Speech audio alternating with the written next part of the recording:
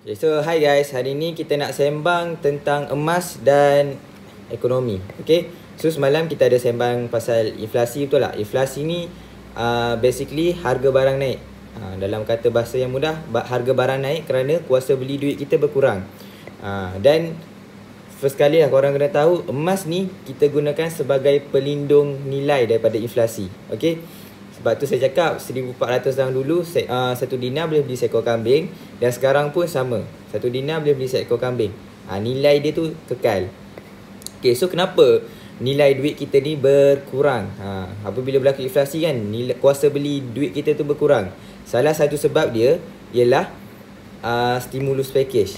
Ha, stimulus package ni dalam bahasa yang mudah, uh, kerajaan dia cetak duit baru masukkan dalam real economy.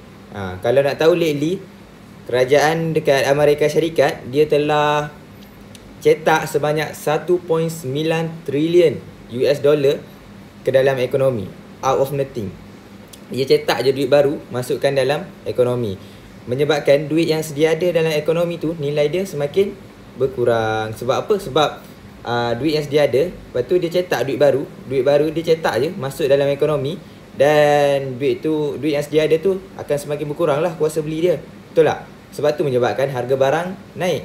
Ah, nampak tak?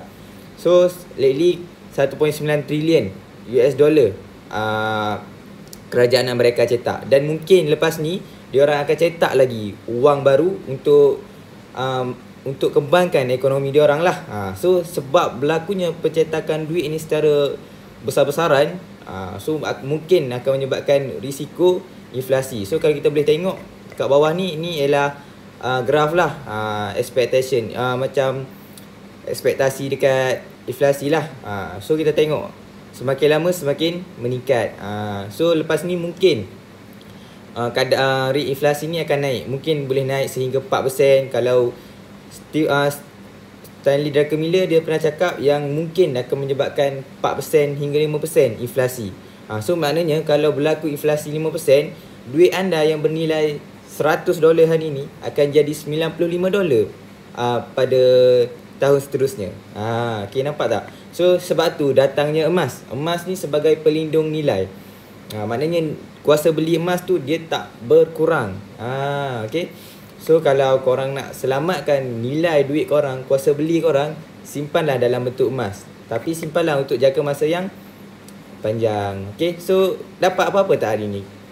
Faham tak apa yang saya nak sampaikan ha, tentang stimulus package, tentang cetak duit ni menyebabkan nilai duit, kuasa beli, kuasa beli duit ni berkurang. Ha, dia ada beberapa sebab lain lagi lah kenapa kuasa beli berkurang. Ha, ni salah satu sebab lah stimulus package. Ha, cetakan duit ni. Okey? Ha, so kalau faham boleh komen faham. Kalau tak faham boleh tanya di ruangan komen. So sekian. Terima kasih